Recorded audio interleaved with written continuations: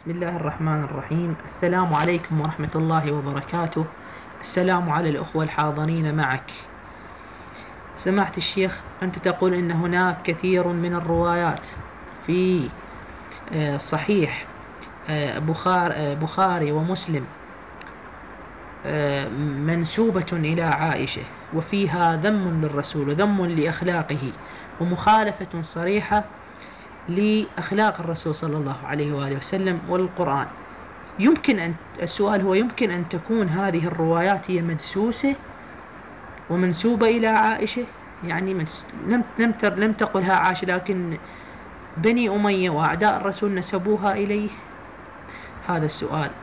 والسؤال الثاني وله هو خارج الموضوع وأرجو المعذرة على طرحه. يقال والكثير الكثير يقول أن سماحة الشيخ يعمل لأجندات بريطانية وأمريكية. كيف تثبت لنا وللمشاهدين ولهم أنك لا تعمل إلى هذه الأجندات ولا تهدف إلى نشر الفتنة بين المسلمين؟ وشكرا. شكرا جزيلا يا أخانا حياكم الله. تفضل شيخنا. وعليكم السلام ورحمة الله, الله وبركاته. يعني الآن شوية عدل يعني أحسن من المخابرات السعودية شوية يعني إنجليزية أمريكية شوية بيها مجال يعني. اي زين ما علينا من هذا الآن. إحنا نجي على السؤال الأول. أهم شيء الأمور العلمية. أما الافتراءات والاتهامات وهالبواطيل هذه ما راح نخلص منها مع الأسف. وحسبنا الله ونعم الوكيل. من يعني أنا أتذكر آه، آه، لعله من نفخ في هذه الفكرة وحاول ترويجها كان البالون الأعظم حسب الظاهر يعني قبل بضع سنوات لعله كان إيه كان يزعم أنه هذه الأمور اللي تحدث بها عائشة وتسيء بها إلى طهر وقداسة نبينا الأكرم صلى الله عليه وآله هذه يعني موضوعه على عائشة وهذا من الخط الأموي. كان يقول هذا من الخط الأموي هكذا. وأتذكر في تلك الفترة طبعا كان البالون يعني في اوجي يعني أوجي بالونيته إنجاز التعبير. بعدين شوي شوي فشوه. إي كان فلذلك كانت يعني كثير من من أبناء الطائفة كانوا منخدعين ومغترين به. قبل أن يقول المراجع العظام كلمتهم فيه أنه ضال مضل ومنحرف. وليتهم قالوها يوم كنا نحذر منه وكنا نحن الصوت الوحيد في هذا الشيء على أي حال فهو لما طرح هذا التزوين يقول هذا الكلام أي شنو بعد؟ الطيور على أشكالها تقع والبالونات تجتمع بعضها مع بعض طبيعي. يعني هؤلاء لا علم لهم. شوفوا إخواني إحنا لما نصفهم بالون ترى مو تجنيا الله شاهد. بالفعل بالون يعني هو شكله متعاظم أنه هو كأنه عالم فاهم كذا. أما من الداخل شنو؟ هواء فراغ.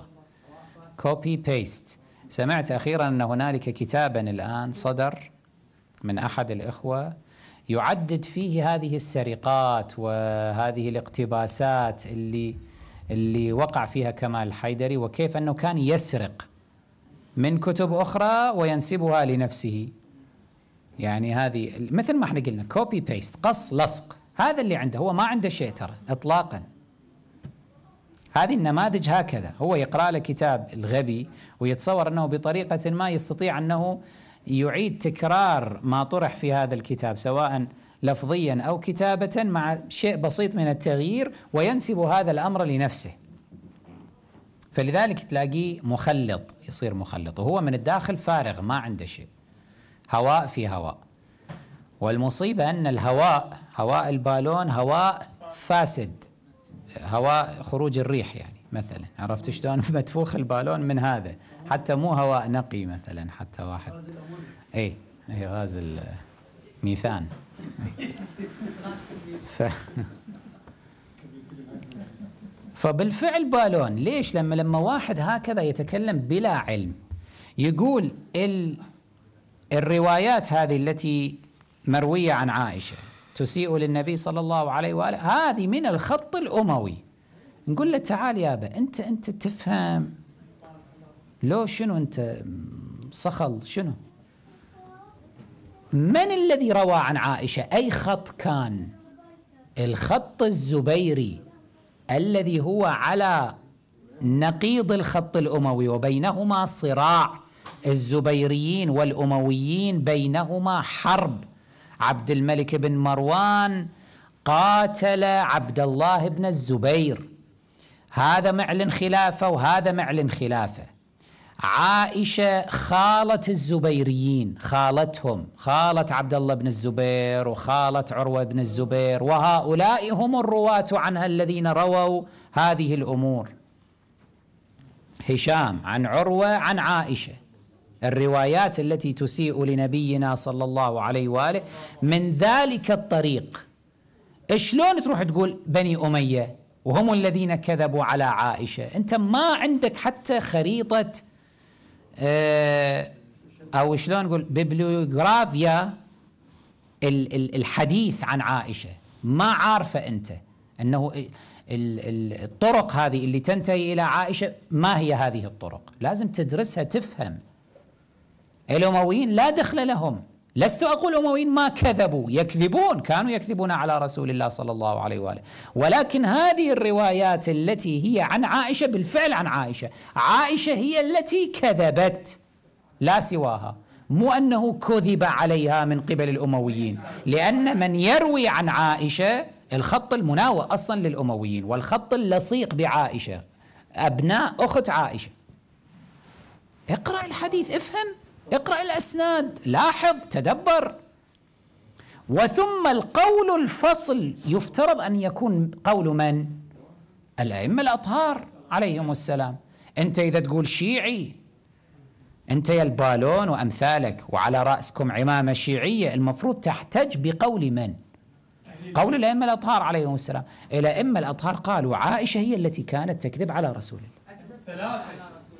الإمام الصادق عليه السلام يقول ثلاثة كانوا يكذبون على رسول الله. يعني أكبر ثلاثة كذابين. من هم؟ أنس بن مالك وأبو هريرة وعائشة هذه أحاديثنا. فإذا خلص هنا ينقطع الجدل بعد. بعد ما نحاول نبرئ ساحة عائشة ونلمع صورة عائشة ونقول والله فقيرة ومسكينة راحوا كذبوا عليها بني أمية. يا أيها السفهاء. كل هذه الحمية ما أخذتكم على عائشة؟ مرضعتكم عائشة شو مسويت لكم ما أدري. بيبيته بعد؟ اي مسخرة. شنو؟ حبوبتي؟ الله. حشرك الله مع حبوبتك إن شاء الله. إلى جهنم وبئس المصير إن شاء الله. في قعر جهنم. معاها يعلقوك. الله أكبر. هؤلاء والله يعني أنذال أنذال خونة التشيع هؤلاء. إلى إما صرفوا دماءهم سفكت دماءهم حتى يوصلون لنا حقيقة عائشة وأنها كذابة ملعونة شوهت سمعة النبي صلى الله عليه وآله وأساءت إليه. هم قالوا قالوا هاي كذبت على جدنا. ويأتي هؤلاء الخونة الأنذال باسم أهل البيت وباسم التشيع الطاهر يقولون للناس لا عائشة مسكينة كذب عليها. ويحاولون تبرئتها مما صنعت. هذا تدري شنو؟ هذا مثل جريمة واحد يأتي يحاول أن يبرئ حرملة مثلا. يقول لا مكذوب عليه. ما رمى ابن الحسين بسهم. مثل واحد يأتي يبرئ يزيد أصلا. هو ليش ماكو جدل عند المخالفين في تبرئة يزيد؟ ويقولون إنه يزيد كان يعني ما كان راضيا بقتل الحسين عليه السلام ولا أمر به. بل تصرف شخصي من من ابن زياد ويزيد بكى بعد إذن وهذا كله يعني مكذوب على يزيد. من يقبلها؟ من يقبل هذا الكلام؟ أنه واحد يأتي يبرئ هؤلاء الظلم الأنجاس. والله لو كان المخالفون مصرين على تقديس يزيد مثلما هم مصرين على تقديس عائشة وأبي بكر وعمر مئة بالمئة كنت تلاقي هذا البالون وأمثاله يترضون عن يزيد اليوم ويحاولون تبرئة ساحته أيضا. لأنه مقاييسهم شنو؟ شوفوا ما هي دواعيهم في تبرئة فلان أو إدانة فلان. يشوفون الجمهور عاوز إيه؟ عاوز كده. شوف مخالفين عاوزين إيه؟ شنو يردون؟ المخالفين يردون عمر يا بنبرئ لكم عمر.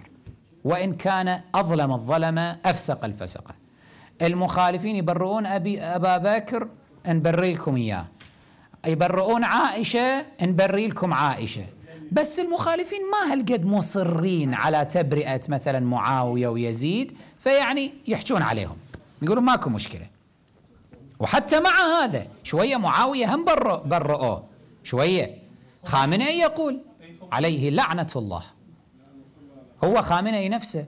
يقول أنا لما كنت رئيس الجمهورية وخميني كان هو القائد الأعلى القائد الضرورة.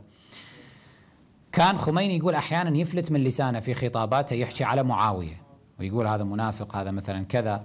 يقول أنا رحت نبهته قلت له يا حضرة الإمام ترى إخواننا أهل السنة ما يقبلون. معاوية هم يعتبرون من رموزهم. يقول زين جزاك الله خيرا نبهتني. بعد ما أعود إليها ويقول بالفعل الإمام لم يعد إليها ثانية. هذا نفسه خامنئي يذكر. حتى معاوية. حتى معاوية لمعوا صورته. وغطوا عليه. وداهنوا فيه. هذه مداهنة. شوفوا هذا شرعا شو يسموه؟ مداهنة. يعني يداهن طائفة من الناس مغترة بمعاوية تحب معاوية يداهنها فيطمطم على معاوية يغطي عنا جرائمه بعد لا يتطرق له بسوء لا يذكره بسوء. صدقوني لو كان أهل الخلاف متشبثين بمعاوية ويزيد كتشبثهم بأبي بكر وعمر كنت تجد هؤلاء نفسهم المعممين يدافعون اليوم عن معاوية ويزيد. ويقولون لا كذبوا عليهم ترى كذبوا عليهم. مساكين. هذه مشكلتنا وياهم. هؤلاء الخونة عجل الله بزوالهم إن شاء الله. لأنهم يجرحون قلب الحجة بن الحسن. والله بالله. يا أخي التشيع هو موقف. ليش تتلاعبون مواقف التشيع؟ ما مسموح لكم هذا الشيء. اخلع العمامة الشيعية روح صير أي هذا شنو اسمه؟ حسين المؤيد. صير مثل هذا. روح البس خلي لك شماغ ما أدري شنو صير مثلهم صلي مثلهم روح. روح ذلك الم... وفلوسهم ينطوك ترى. فلوسهم ينطوك ووصلوك إلى أعلى المستويات. أحسن شيء يصير عندك. أما باسم التشيع ليش تتكلم؟ التشيع موقف. هذا هو التشيع. هذا هو التشيع الرفض. نرفض الشر وأهل الشر الباطل وأهل الباطل طغيان وأهل الطغيان. نرفض هؤلاء. ولذلك رفضنا أبا بكر رفضنا عمر رفضنا عائشة رفضنا كل من تلاعب بدين الله وطغى وتجبر وظلم أو نافق وأفسد. هذا هو التشيع. هذه مفخرتنا. بهذا نفتخر به. فأن تأتوا أنتم وتتلاعبوا بهذا التشيع ومواقفه هذه خيانة عظمى ولن نمررها لكم والله بالله.